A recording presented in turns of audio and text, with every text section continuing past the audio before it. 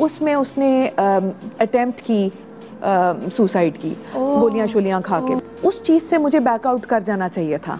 लेकिन मैं उस चीज़ को मैंने उलट कर दिया। मैंने कहा एक बंदा एक बंदा मेरे लिए जान देने के लिए तैयार उसको तो मेरी सारी ज़िंदगी मेरा बहुत ख्याल करेगा ये और हाँ। हमारी ज़िंदगी अच्छी गुजर जाएगी। बिल्कुल। लेकिन वो ऐसा नहीं था। आपको रोल दिया जाता है। आपको म्यूज़िक से मना नहीं किया जाता लेकिन जब आप शो से वापस आते हैं तो आपको अच्छा खासा जलील किया जाता है। तो वो आपको जूते के ऊपर रखा जाता है। वालेकुम फ्रेंड्स, मेरा नाम है सुमेर और आप देख रहे हैं सभी सुमेर व्लॉग्स। दोस्तों, आज हम बात करेंगे पाकिस्तान की बहुत ही नामवर और सुरीली आवाज़ की मालिक सिंगर हदीका क्यानी के बारे में।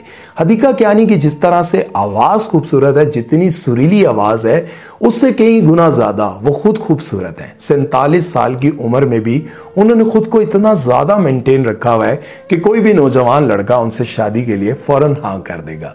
लेकिन कुछ चीज़ें मैं आज आपको उनके बारे में बताना चाह रहा हूँ।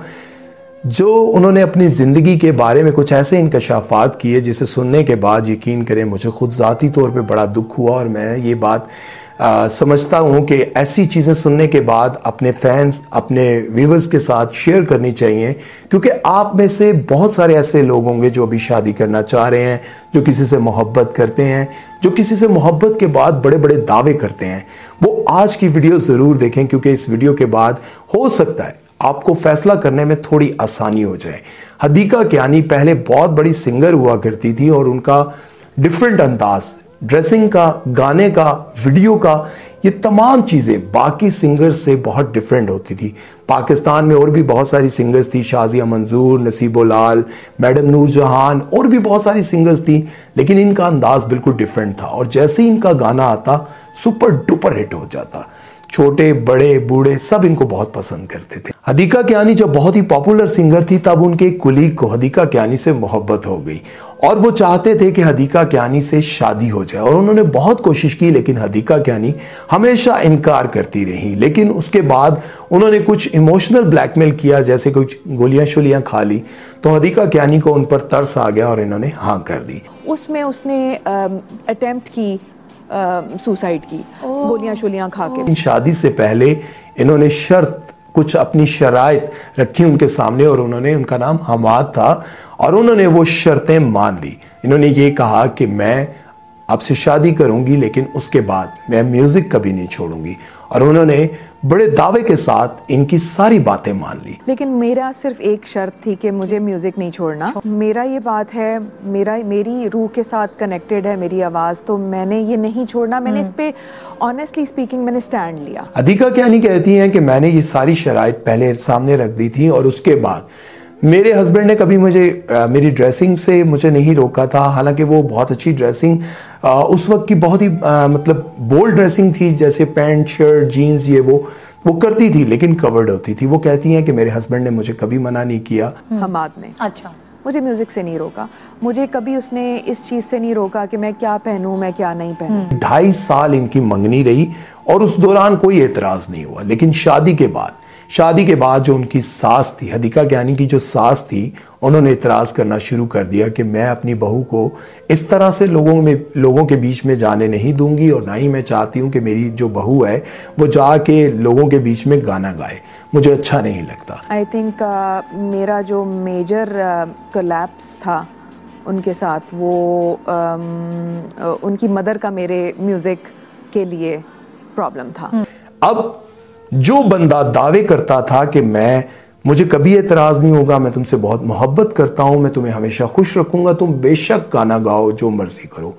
लेकिन उसके बाद जब उनकी वालदा ने एतराज़ करना शुरू किया हदीका कैनी की सास ने एतराज़ करना शुरू किया तो वो जो शख्स था जिसका नाम हमाद था वो भी कमज़ोर पड़ने लग गया। कमिटमेंट ऐसी करें जो आप निभा सकें। बल्कि नहीं नहीं मैं सब ठीक कर लूँगा वाला सिलसिला जबकि आपका रिश्ता भी अरेंज्ड हो। बिल्कुल और उस टाइम कोई इशू ना हो। हाँ। लेकिन बाद में इशू बाद हो। में। आपको रोल दिया जाता है। आपको म्यूज़िक से मना नहीं किया जाता लेकिन जब आप शो से वापस आते हैं तो आपको अच्छा खासा जलील किया exactly. जाता है। तो वो आपको जूते के ऊपर रखा जाता है। अब कुछ अरसे बाद इनका रिश्ता टूट गया। अब बात यहाँ पर यह समझने की है कि जब आप लोग किसी से मोहब्बत करते हैं तो मोहब्बत में इतने अंधे हो जाते हैं, चाहे वो लड़की हो, चाहे वो लड़का हो, चाहे वो एक्ट्रेस हो या आम लोग हो, जब आप किसी से मोहब्बत करते हैं तो इतने अंधे हो जाते हैं कि हर बात मान लेते हैं। लेकिन जब वो आपके घर आ जाती है तो फिर आप लोग इस कदर बिगड़ जाते हैं कि उनकी कोई भी बात मानने के लिए तैयार नहीं होते। ये बात आपको पहले सोचनी चाहिए कि अगर मैं किसी एक्ट्रेस से शादी कर रहा हूँ मैं मतलब सोसाइटी में बताऊँगा कि मैंने फ्ला बंदी के साथ शादी की है जो बहुत ही पॉपुलर है, बहुत ही फ़ेमस है। लेकिन उसके बाद, शादी के बाद जब वो किसी एक्ट मतलब जो एक्ट्रेस है, पहले मैं आपको थोड़ी बात क्लियर करता चलूँ।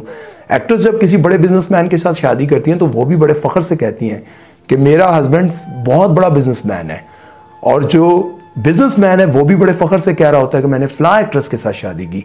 लेकिन कुछ ही अरसे बाद वो एक्ट्रेस आकर कहती है कि मेरा हस्बैंड बड़ा ही गंदा आदमी था, मुझे मारता था, मुझे बुरी तरह पीटता था, वो नशा करता था और वो बंदा कह रहा होता है कि यार देखो, मेरी इससे ये कमिटमेंट हुई थी कि मैंने कहा था कि एक्टिंग नहीं करोगी।